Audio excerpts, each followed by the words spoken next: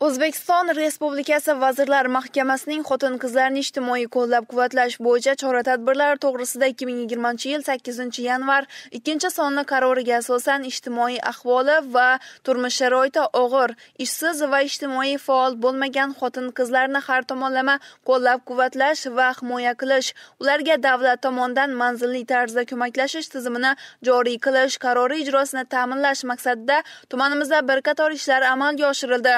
Ijtimoiy ahvoli va turmush sharoiti og'ir ishsiz va ijtimoiy faol bo'lmagan xotin qizlarni har tomonlama ijtimoiy qo'llab-quvvatlash va himoya qilish ularga davlat tomonidan manzilli tarzda ko'maklashish tizimini joriy qilish maqsadida bugungi kunda ellikqal'a tumani prokuraturasi tomonidan tizimli ishlar amalga oshirilmoqda.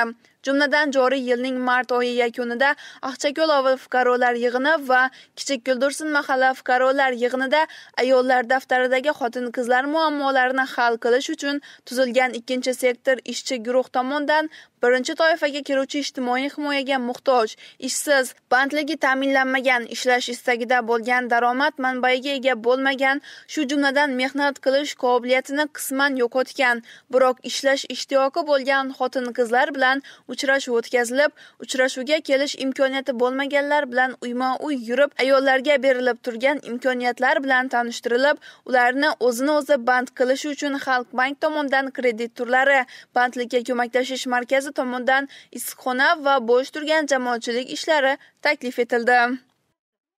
Darhaqiqat bugun kambag'allikni kamaytirish ayollar daftari yoshlar daftari hamda temir daftarga kiritilgan fuqarolarga yordam berish muhim masalaga aylandi. Ularga nafaqat moddiy yordam ko'rsatish balki jamiyatda o'z o'rniga ega bo'lishga ko'maklashish orqali ushbu ro'yxatdan chiqarish lozim. Shu sabab ham bugungi kunda mamlakatimizda ayol qizlarga bo'lgan e'tibor kun sayin oshmoqda chunki ularning jamiyatda o'z roli va qobiliyatini namoyon qilishi aholi bandligini ta'minlab davlatimizda kambag'allik hajmini kamaytirishga xizmat qiladi. Tuman prokuraturasi tomonidan amalga oshirilayotgan davomli va samarali ishlar doirasida kichik guldur ovul fuqarolar yig'inida yashovchi psixologik maslahatga muhtoj ayollar ro'yxatida turgan ishniyoz va jamila romanovnaning ikkinchi guruh nogironi bo'lgan o'g'li rahmatullayev sardor yusupboyevichga zarur dori darmonlar ham yetkazib berildi. Mahallaba ishlash tizimini to'g'ri tashkil qilish va uning natijasida aholiga imkon qadar yordam berish bugun prokuratura xodimlarining asosiy maqsadlaridan biri qilib olingan.